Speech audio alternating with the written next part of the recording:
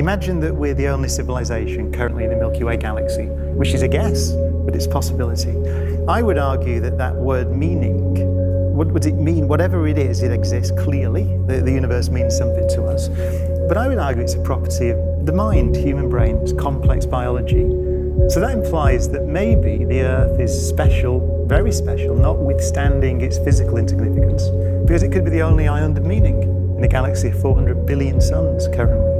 So there's a clash of ideas when you, when you talk about cosmology. There's the physical insignificance, as you see there, 10,000 galaxies in a single patch of sky.